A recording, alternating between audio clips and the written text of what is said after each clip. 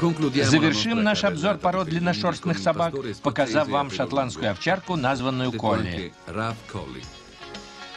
Колли-компаньон не требует особого ухода за шерстью. Достаточно расчесывать его каждый день, чтобы избежать спутываний. Для выставки собака должна быть вымыта за несколько дней до шоу, поскольку ее шерсть по стандарту остается грубой.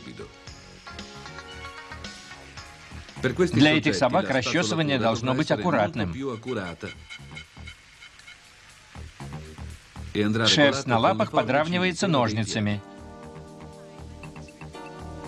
Мы видим разницу между обработанной лапой и нетронутой. Удаляется также шерсть, вылезающая из подушечек, которая может сильно расширять подошву, тем самым вызывая проблемы во время движения.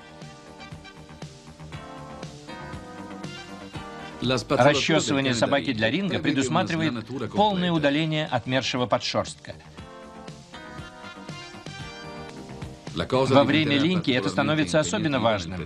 Тогда вычесывается огромное количество выпавших волос.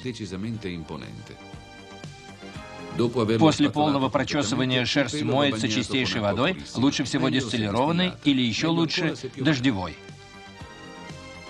В самом конце осторожно расчесывают всю шерсть. В руку берут одну прядь и расчесывают ее от корней волос до кончиков.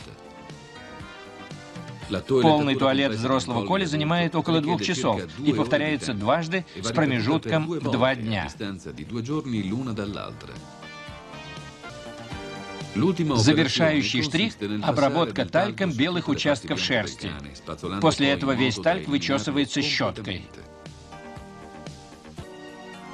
Но больше всего мы хотим подчеркнуть, что каждая собака, большая или маленькая, с длинной шерстью или с короткой, чувствует себя намного лучше, когда ее шерсть в порядке. И поэтому не ждите, когда она превратится в куст на ножках, а займитесь ее туалетом или отведите для этого к профессионалу. Но делайте это регулярно. И тогда у вас будет ухоженная собака с чистой и здоровой шерстью. И неважно, будет это победитель всевозможных выставок или обыкновенная дворняжка, потому что это всегда будет самая лучшая и красивая собака в мире.